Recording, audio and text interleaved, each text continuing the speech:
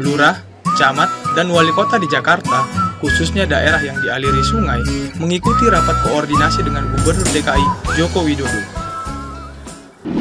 Jokowi menghimbau agar para aparat pimpinan daerah mengambil pendekatan persuasif dalam pembebasan lahan untuk sterilisasi bantaran kali.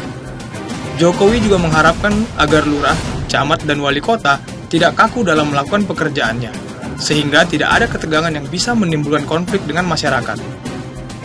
Pemindahan masyarakat di sekitar Kampung Melayu ada rencana pembangunan rumah susun di ex kantor dinas teknis di Jakarta. Permasalahan biaya pembebasan tanah diharapkan bisa tuntas tanpa merugikan rakyat.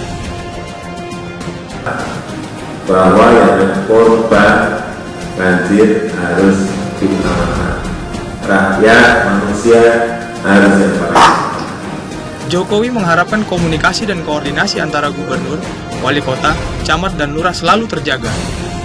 Ia menginginkan agar Jakarta selalu siap menghadapi bencana apa pun.